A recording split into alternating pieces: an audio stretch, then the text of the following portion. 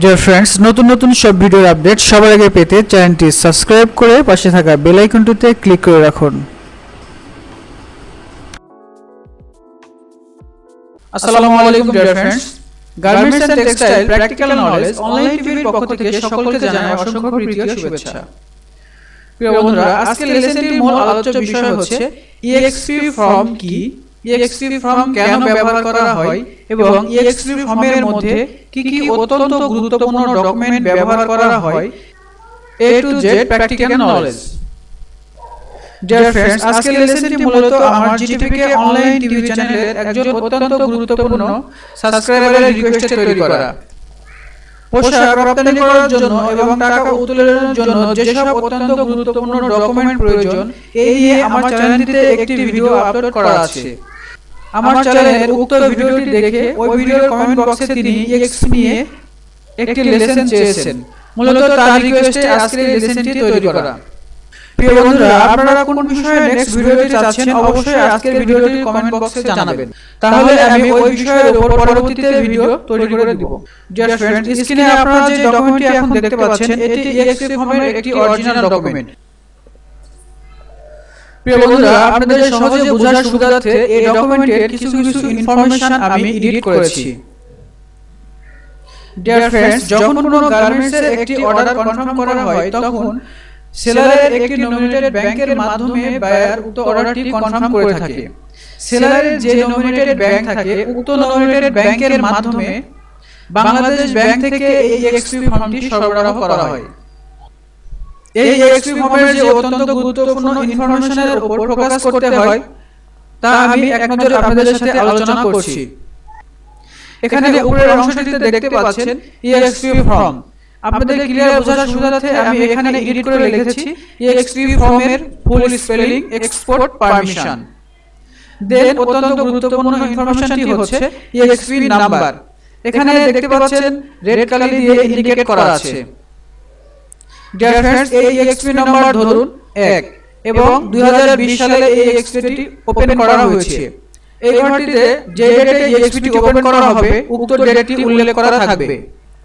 Dear friends সেলারের যে nominated ব্যাংকের মাধ্যমে এই এক্সপি ফর্মটি ওপেন করা হবে, উক্ত ব্যাংকের নাম এবং ডিটেইলস অ্যাড্রেস এখানে লেখা থাকবে।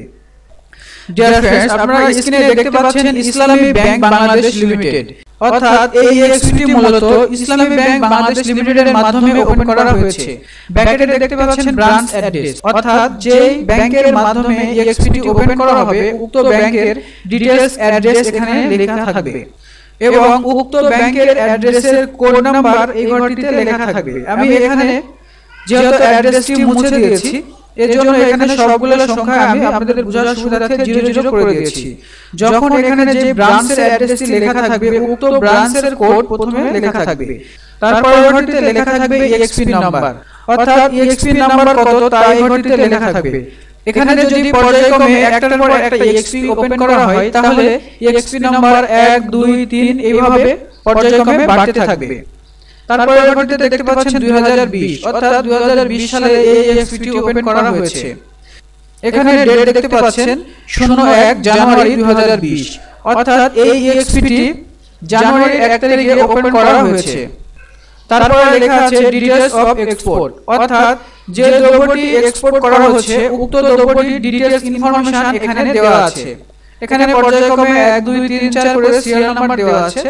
তারপরে এখানে দেখতে পাচ্ছেন item then particulars then code number এখানে দেখতে পাচ্ছেন লেখা আছে কমোডিটি টু বি এক্সপোর্ট অর্থাৎ কোন ধরনের গার্মেন্টস এখানে শিপমেন্ট করা হচ্ছে তা এই ঘরটিতে লেখা আছে।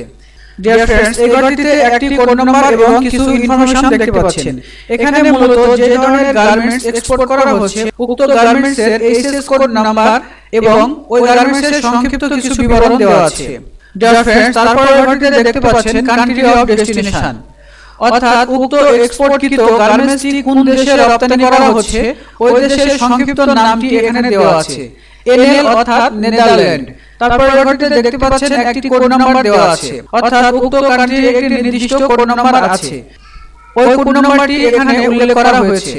যেমন নেদারল্যান্ডের কোড নাম্বার হচ্ছে 2010 তারপর ঘরটিতে দেখতে পাচ্ছেন পোর্ট অফ ডেস্টিনেশন অর্থাৎ এই এক্সপোর্টকৃত গার্মেন্টসটি কোন পোর্টের মাধ্যমে রিসিভ করা হচ্ছে তা এখানে উল্লেখ করা হয়েছে। এখানে দেখতে পাচ্ছেন রোটারডাম এয়ারপোর্ট নেদারল্যান্ড অর্থাৎ নেদারল্যান্ডে রোটারডাম এয়ারপোর্টে এই গার্মেন্টসটি রিসিভ করা হবে। তারপরে ঘরটিতে দেখতে পাচ্ছেন কোয়ান্টিটি কোয়ান্টিটি এই ঘরটিতে দুইটি অপশন উল্লেখ করা হয়েছে। উপরের ঘরটিতে দেখতে পাচ্ছেন ইউনিট অর্থাৎ উক্ত রপ্তানিকৃত গার্মেন্টসটি কোন ইউনিটে শিপমেন্ট করা হচ্ছে তা এখানে দেওয়া হয়েছে। এখানে লেখা আছে পিসেস অর্থাৎ গার্মেন্টসগুলো পিস কোয়ান্টিটিতে রপ্তানি করা হচ্ছে। নিচের ঘরটিতে দেখতে পাচ্ছেন ভলিউম ওয়েট অবলিক নাম্বার অর্থাৎ গার্মেন্টসের কোয়ান্টিটি অথবা ওয়েট নাম্বার এখানে মূলত গার্মেন্টসের কোয়ান্টিটি উল্লেখ করা হয়েছে। ধরুন এই শিপমেন্টে আমরা বিশ হাজার পিস গার্মেন্টস শিপমেন্ট করেছি তারপর ঘরটিতে দেখতে পাচ্ছেন ভ্যালু ভ্যালু এই ঘরটিতেও কয়েকটি অপশন উল্লেখ করা হয়েছে। যেমন উপরের ঘরটিতে দেখতে পাচ্ছেন কারেন্সি অর্থাৎ উক্ত রপ্তানিকৃত গার্মেন্টসের প্রাইস কীভাবে প্রেরণ করা হবে তা এই ঘরটিতে উল্লেখ করা হয়েছে। যেমন এখানে দেখতে পাচ্ছেন ইউএস ডলার তারপর ঘরটিতে দেখতে পাচ্ছেন ইনকোটাম ইউজ কীভাবে গার্মেন্টস শিপমেন্ট করা হবে তা এখানে উল্লেখ করা হয়ে থাকে। এখানে এই অপশনটি উল্লেখ করা ম্যান্ডেটরি না। এজন্য এখানে উল্লেখ করা হয় নাই তারপর ঘরটিতে দেখতে পাচ্ছেন ইনভয়েস ভ্যালু অর্থাৎ উক্ত 20000 পিস গার্মেন্টসের যে ভ্যালুটা আছে তা এখানে উল্লেখ করা হয়েছে।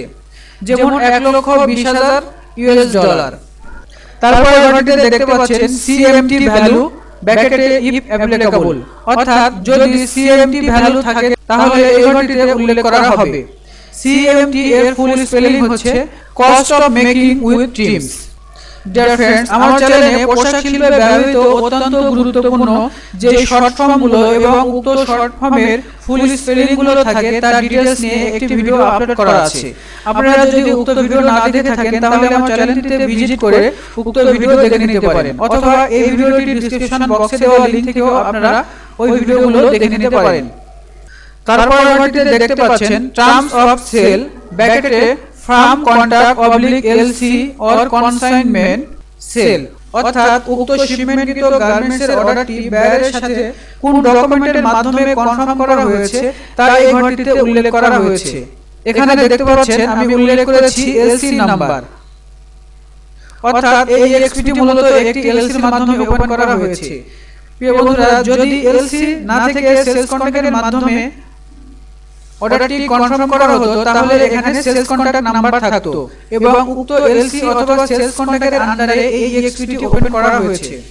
তারপর অর্ডারটিতে দেখতে পাচ্ছেন name and address of importer oblique consignee অর্থাৎ যে ব্যয়ের কাছে আমরা গার্মেন্টসটি শিপমেন্ট করতেছি, উক্ত ব্যয়ের নাম এই লেখা থাকবে।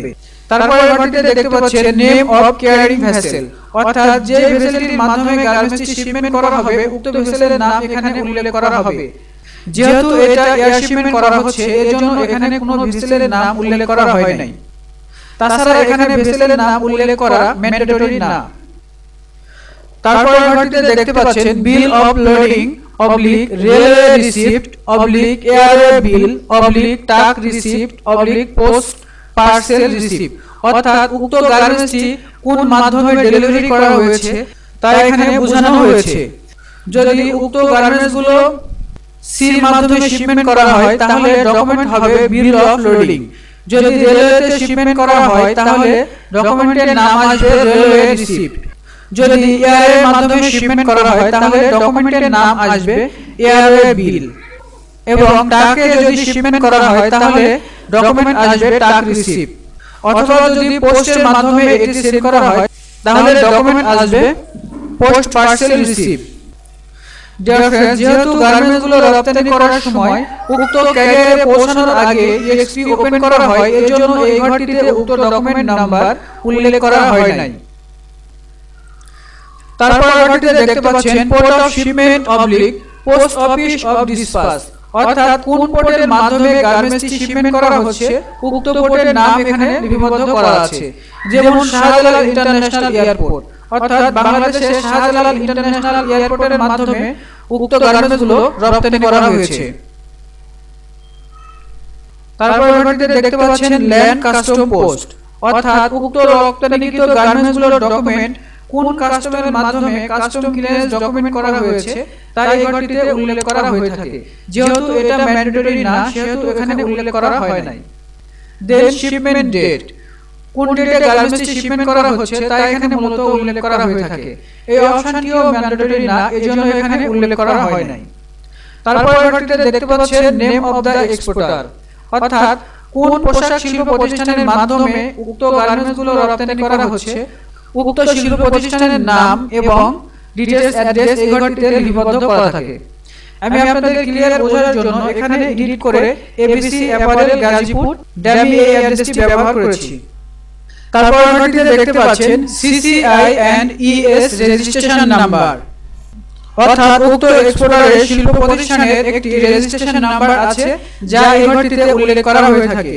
যেহেতু এখানে আমি ডামি একটি শিল্প প্রতিষ্ঠানের নাম এবং লোকেশন উল্লেখ করেছি সেহেতু এখানে আমি জিরো জিরো জিরো ব্যবহার করেছি। তারপর ঘরটিতে দেখতে পাচ্ছেন সেক্টর ব্র্যাকেটে public or private under which the exporter falls অর্থাৎ কোন সেক্টরটির মাধ্যমে উক্ত গার্মেন্টসগুলো শিপমেন্ট করা হচ্ছে তা এখানে উল্লেখ করা হয়েছে। এখানে দেখতে পাচ্ছেন লেখা আছে প্রাইভেট অর্থাৎ এই শিল্প প্রতিষ্ঠানটি প্রাইভেট এই জন্য এখানে প্রাইভেট কথাটি উল্লেখ করা হয়েছে।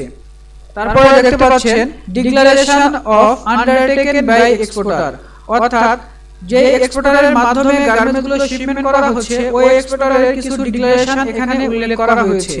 তার নিচে ঘরটিতে দেখতে পাচ্ছেন authorize signature and stamp of the exporter with date অর্থাৎ যে এক্সপোর্টারের মাধ্যমে গার্মেন্টসটি শিপমেন্ট করা হচ্ছে ওই এক্সপোর্টার কোম্পানির নমিনেটেড পারসনের সিগনেচার স্ট্যাম্প এবং ডেট এই ঘরটিতে উল্লেখ করা থাকবে তারপর ঘরটিতে দেখতে পাচ্ছেন সার্টিফিকেট অফ অথরাইজ ডিলার অর্থাৎ যে নমিনেটেড ব্যাংকের মাধ্যমে এই এক্সপি ওপেন করা হচ্ছে এবং গার্মেন্টসগুলো শিপমেন্ট করা হচ্ছে ওই নমিনেটেড ব্যাংকের ওপর কিছু রুলস এন্ড রেগুলেশন এখানে উল্লেখ করা হয়েছে।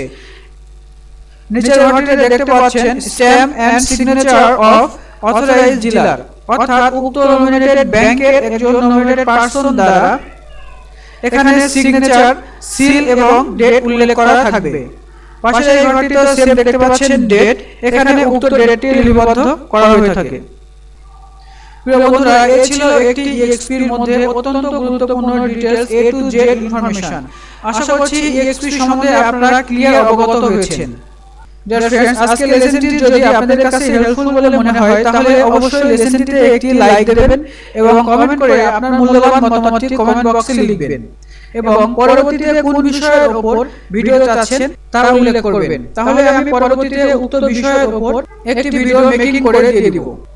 সকলের সুস্বাস্থ্য কামনা করে আজকের লেসনটি এখানেই শেষ করছি। আল্লাহ হাফেজ।